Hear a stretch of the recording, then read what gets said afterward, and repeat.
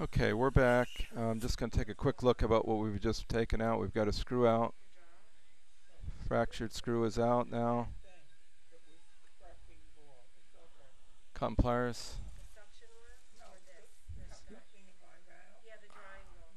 So there's our screw fragment. And that came out uneventfully. So it was loose. All we had to do is pre-soak it with uh, tartar and stain remover. And we had no problem getting that out. So that's that's number one. That's that's this first one here.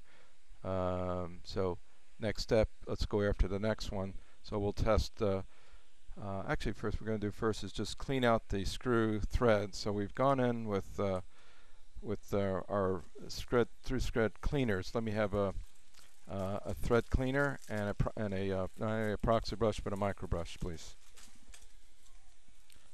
All right, so here's a, here's a micro brush. So we pre-dip all these here. This is one that goes into threads.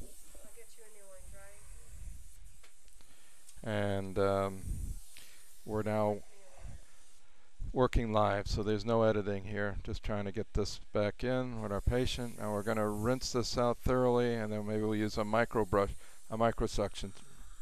And raise your chin up for us, please. Thank you.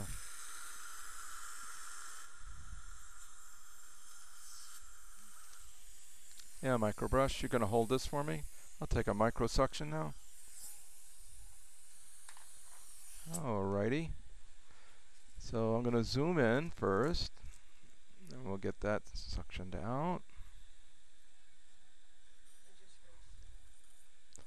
Okay, so our threads look really nice all the way down. So now we've got some palatal tissue in the way, right? You're feeling that? Mm-hmm. Okay, so we're going to number up some more.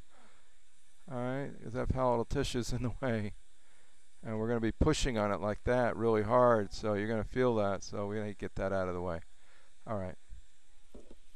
Be right back after this.